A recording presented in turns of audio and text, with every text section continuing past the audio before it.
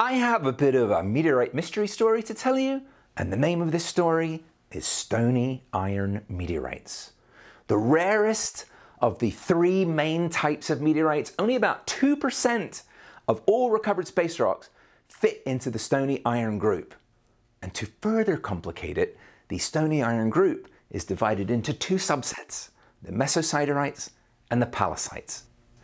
It was originally thought in the early days of meteorite science that these two types were similar and perhaps formed in quite similar ways, a view that is now no longer held by meteorite scientists.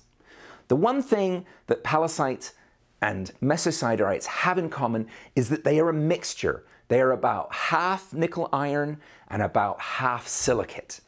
Now, in the case of the mesosiderites, we believe them to be the result of enormous asteroidal collisions.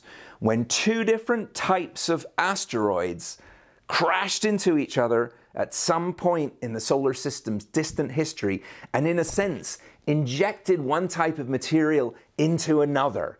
And that's why we get this mixed up collection of nickel iron and silicate materials together, seemingly in a sort of random pattern. And that is quite different from the pallasites.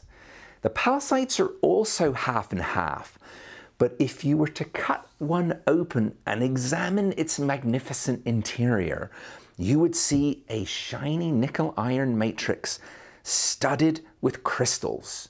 And those colorful crystals are the mineral olivine, and in the gemstone world, we call olivine peridot. So when you look at a pallasite, you are looking at a rock that contains gemstones from outer space.